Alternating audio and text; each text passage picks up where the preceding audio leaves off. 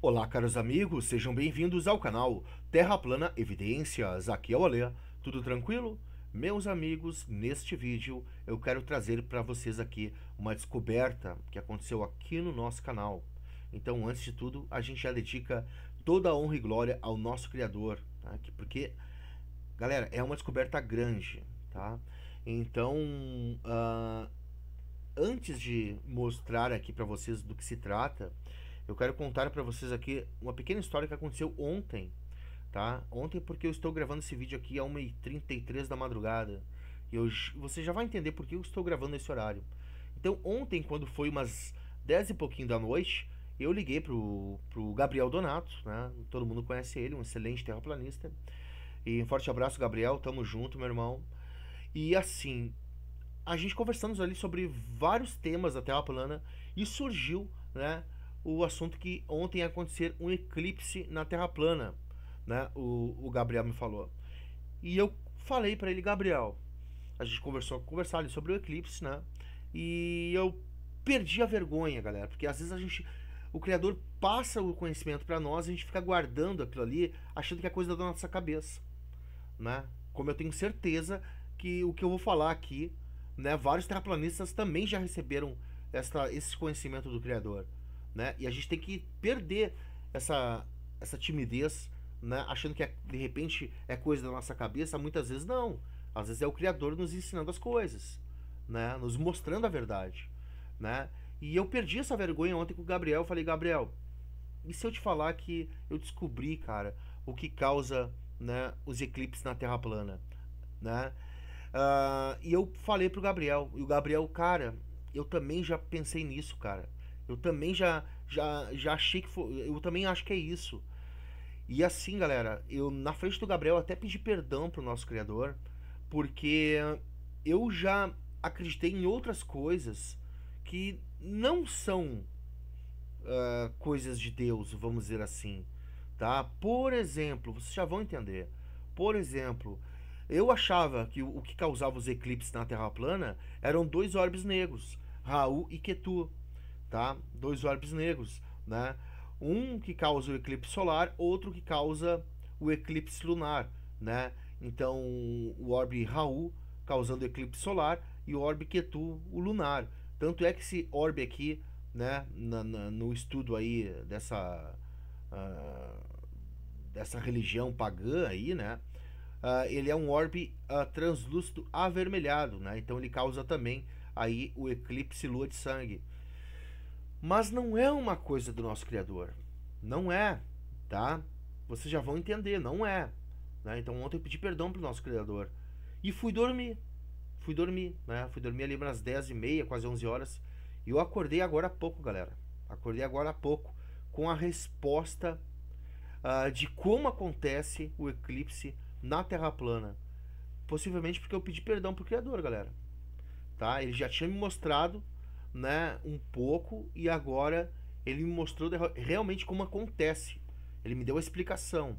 Ele tinha me falado o que, que era e agora ele me deu a explicação porque eu pedi perdão para ele, tá? Então, galera, isso aqui é sobre é, é um estudo que eles têm aí, né, no hinduísmo, povo indiano, né?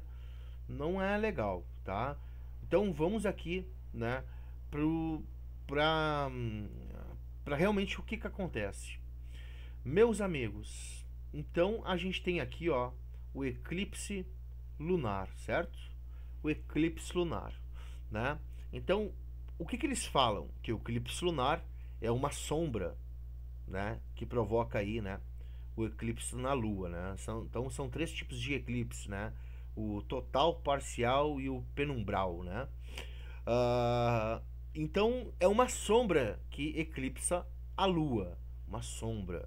Mas a gente sabe que não é a sombra da Terra. Não é a sombra da Terra. Porque a Lua e o Sol estão acima do plano terrestre. Como que a Terra vai projetar uma sombra na Lua? Impossível. Impossível. Todo mundo pode observar isso, que a Lua e o Sol estão acima de nós. Né? Esse negócio aí de dar voltinha na Terra, isso é ilusão, cara. Isso é ficção científica. A Terra é um plano estendido e a Lua e o Sol estão acima de nós. Isso é observável. Observação faz parte fundamental da ciência. Então a gente sabe que está o Sol e a Lua acima de nós. E alguma coisa projeta uma sombra na Lua. Interessante isso, hein, pessoal?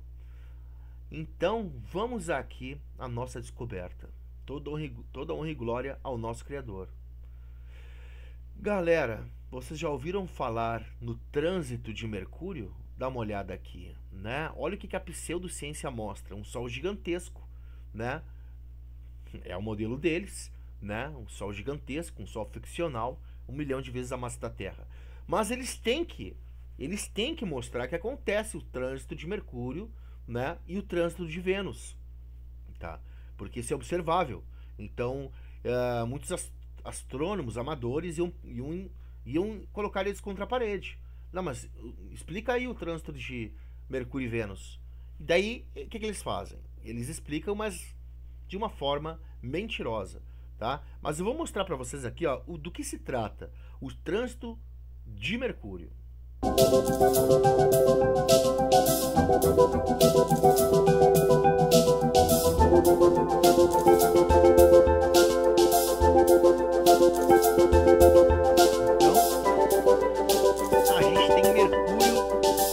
Passando na frente do Sol. Né? Isso aqui é, é, CGI, tá? Isso aqui é CGI. Né? Tô, tô, tô usando as armas deles contra eles, tá, pessoal? Então a gente tem Mercúrio passando na frente do Sol. Interessante, hein? Vamos ver aqui, ó.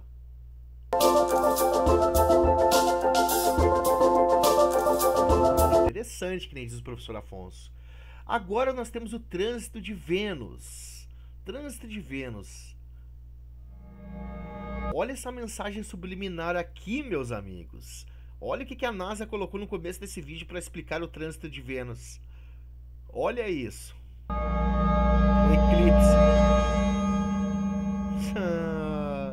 um eclipse solar. Tá, ai, ai, ai. Será que eles estão usando mensagem subliminar? Eu acho que sim, hein? Até vou ver de novo. Olha aqui.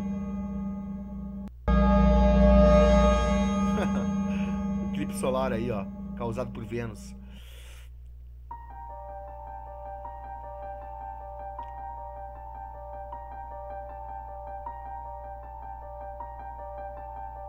Então tá aí Vênus passando na frente do Sol, famoso trânsito de Vênus.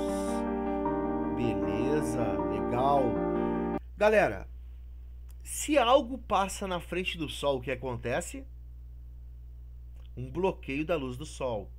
Consequentemente, causa o que na Lua? Uma sombra. Agora, vamos colocar isso para a Terra plana. Né? Então, nós temos aqui uh, Mercúrio e Vênus passando na frente do Sol, cara. Tá? Muito terraplanista já entendeu tudo que está acontecendo aqui nesse vídeo.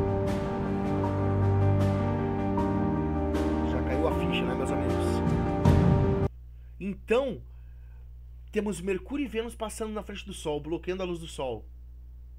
Causando o quê? Uma sombra na Lua, eclipsando a Lua.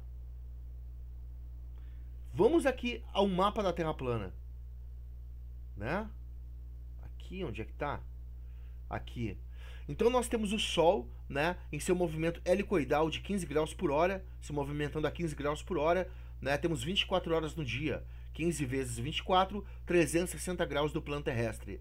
Então, ele se movimenta a 15 graus por hora sobre nós. Agora ele está no trópico do caranguejo, ou trópico de câncer, né? Porque é inverno para nós e verão aqui para o norte. Ontem eu estava observando a lua com o Gabriel. Cara, a lua está muito ao sul para nós. Está muito ao sul. Muito, tá? Uh, e nós temos o que? Mercúrio e Vênus transitando na frente do Sol, bloqueando a luz do Sol. A gente viu ali. Eclipsando a Lua, meus amigos. E eclipsando o Sol. Exatamente. Tá? Eu, eu para mim, essas, isso que o Criador passou para mim, né? É, é, eu, cara, eu tô muito confortável. para mim, é, eu tô confortável com essa explicação. Mas você pode continuar pesquisando Pode questionar, tá? Você fique à vontade aí nos comentários, comente, tá? Mas, meus amigos, vocês notaram uma coisa? Será que de repente esses caras aqui, eles não observaram isso também? Mercúrio e Vênus na frente do Sol e falaram que eram dois orbes? Dois orbes negros? Dois orbes negros? Porque quando ele passa na frente do Sol ele fica negro. Olha aqui. Só que eles, só que eles colocaram para a religião deles. Né? E muita coisa do globo vem do hinduísmo. O Bruno já explicou muitas vezes para nós. Né? O, o, modelinho ficcional do globo é todo, todo, todo fundamentado aí nessas religiões pagã. Né?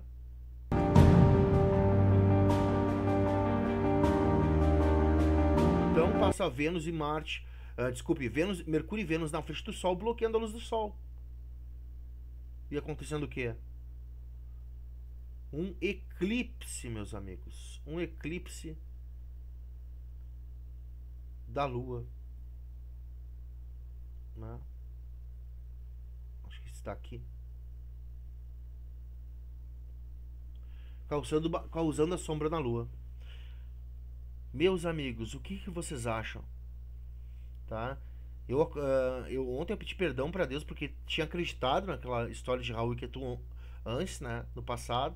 Até pedi perdão na frente do Gabriel, eu pedi perdão para Deus no telefone, né? Falei com Deus, bah, Senhor, me perdoe por ter acreditado nisso, né? E contei pro Gabriel o que que realmente causava os eclipses. O Gabriel também já tinha pensado nisso, cara. Então, o criador inspirando aí vários terraplanistas a mostrar a verdade, mostrando a verdade para nós.